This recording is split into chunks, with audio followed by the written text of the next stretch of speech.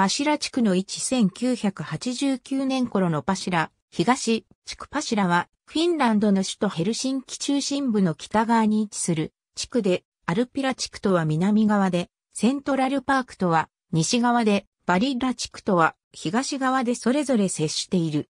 パシラ地区は東側と西側が広大な操車場で隔てられ、パシラ地区の中心部は現在、ヘルシンキ市当局の加都市開発計画が進められている。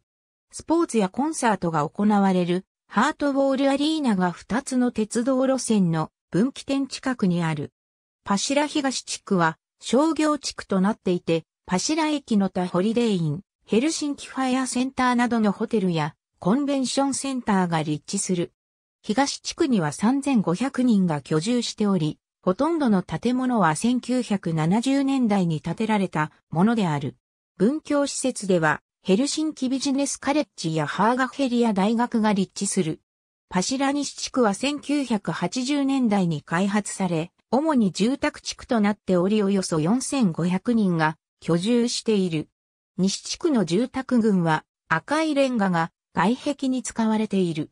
フィンランドの国営放送局であるフィンランド国営放送や民放局の MTV3 がこの地区の北側に立地している。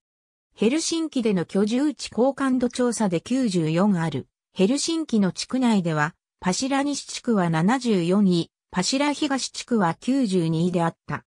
パシラ地区の開発が進む前は、古い木造の住宅群が立地しており、パシラ地区一帯は木のパシラと呼ばれていたが、現在でも少数の木造の家屋が建っている。ありがとうございます。